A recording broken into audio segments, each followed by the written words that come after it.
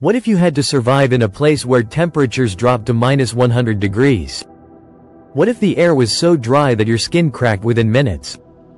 And what if I told you that despite these extreme conditions, life not only survives but thrives? From microscopic organisms living in solid ice to humans who built entire research stations in the coldest places on Earth. Today on Ecosphere, we're uncovering the unbelievable ways life has adapted to the most extreme environments on our planet.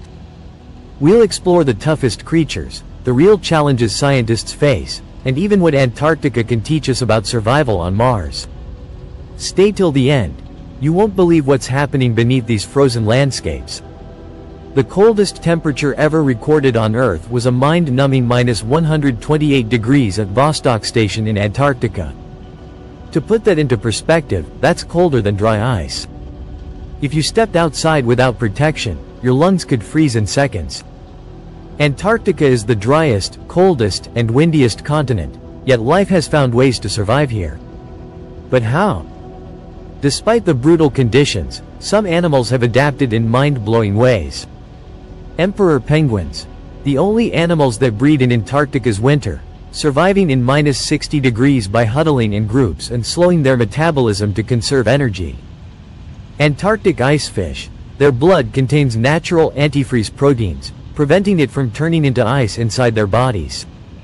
Tardigrades, microscopic creatures that can survive being completely frozen and come back to life when thawed. They're practically immortal and could even survive in space. But what about humans? Can we survive here long term? Antarctica has no permanent human population, but every year, around 1,000 to 5,000 scientists live at research stations. They battled 24-hour darkness in winter, hurricane-force winds, and months of isolation.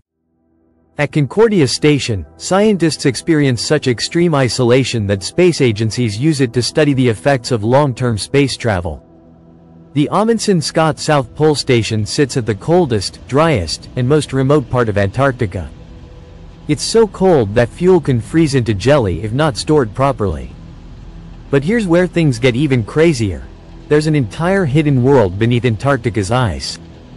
Scientists have discovered giant lakes trapped under miles of ice, some sealed off from the surface for millions of years. In Lake Vostok, researchers found unknown bacteria, proving that life can exist in complete darkness, without sunlight, in sub-zero temperatures.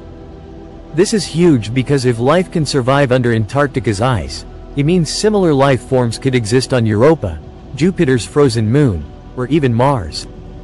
But Antarctica is changing. Due to climate change, ice sheets are melting at alarming rates. If Antarctica's west ice sheet collapses, it could raise global sea levels by 10 feet, flooding major cities worldwide. And here's the scary part.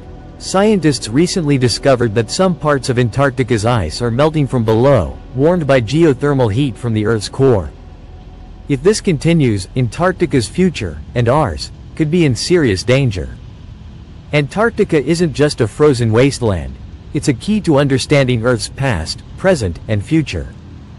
From extreme survival to hidden life beneath the ice, this icy continent holds secrets that could change everything we know about life on Earth and beyond. If you found this video fascinating, hit that like button to support us, share this with your friends, and subscribe to Ecosphere for more mind-blowing content. Let's keep exploring the wonders of our planet together. See you in the next video.